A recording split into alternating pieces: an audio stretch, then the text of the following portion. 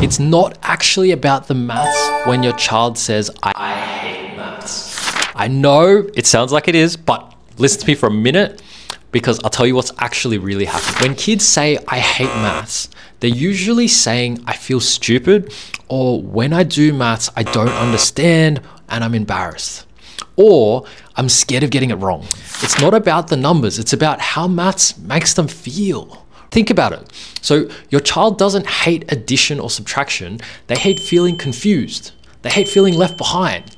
They hate that sinking feeling when everyone else seems to get it and they don't. I've worked with hundreds of kids who said they hated maths. And you know what? Once they started understanding it, once they felt confident, once they experienced success, suddenly they didn't hate it anymore. Same kid, same maths, different feeling.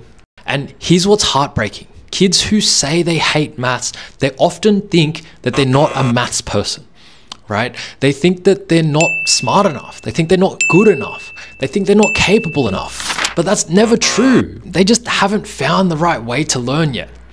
And here's what's more heartbreaking as well they carry that belief with them.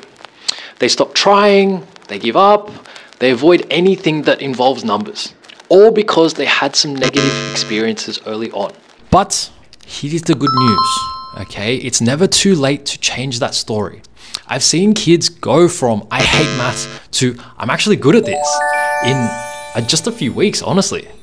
And it's not about being naturally gifted, it's about feeling supported, understood, and successful. Tell us about your child's relationship with maths, and let's change that story together.